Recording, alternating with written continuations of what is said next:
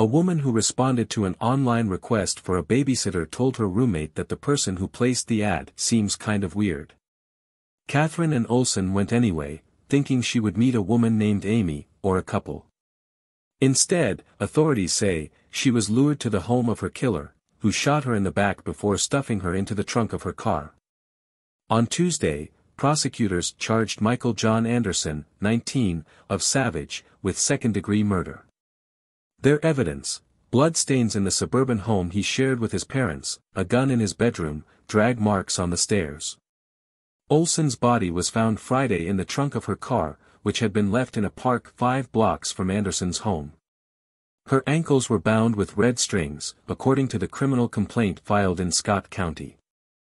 A woman who responded to an online request for a babysitter told her roommate that the person who placed the ad seems kind of weird. Katherine Ann Olson went anyway, thinking she would meet a woman named Amy, or a couple. Instead, authorities say, she was lured to the home of her killer, who shot her in the back before stuffing her into the trunk of her car. On Tuesday, prosecutors charged Michael John Anderson, 19, of Savage, with second-degree murder. Their evidence, bloodstains in the suburban home he shared with his parents, a gun in his bedroom, drag marks on the stairs.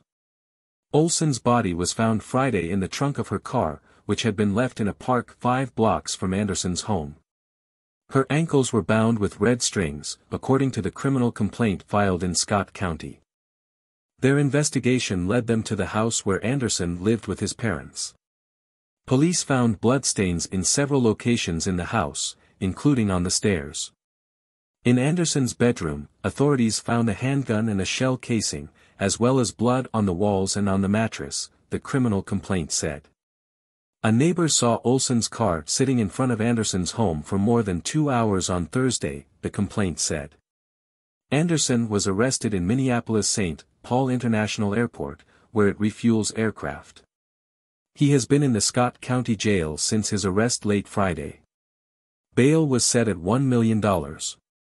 Anderson first told police he had nothing to do with the murder and denied making phone contact with Olson. But cell phone records indicated Olson called Anderson Thursday morning, court documents said. He also said he had not used Craigslist since January, even though the email address in the ad matched his own. He told police that his mother and three friends had access to the account. When Anderson was confronted with the evidence, he changed his story, according to the complaint, he said he was present during Olson's murder but that the killing was committed by a friend who thought it would be funny. Olson graduated in 2002 from Park High School in Cottage Grove, where she was valedictorian. She graduated from St. Olaf College in 2006.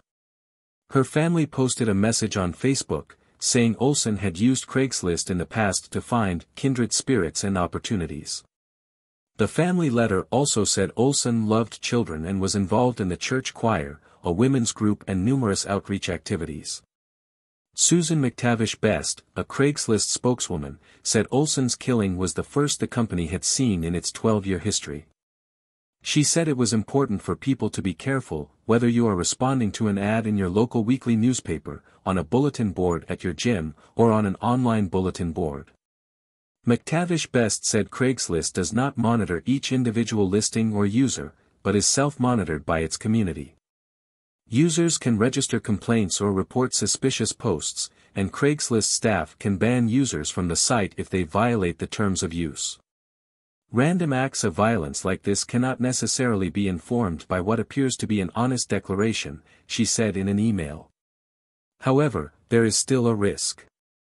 In California, a 19-year-old college student disappeared in June after meeting a convicted sex offender on Craigslist. In Philadelphia, a man was accused of raping seven women, six of whom he met through the dating site Match.com.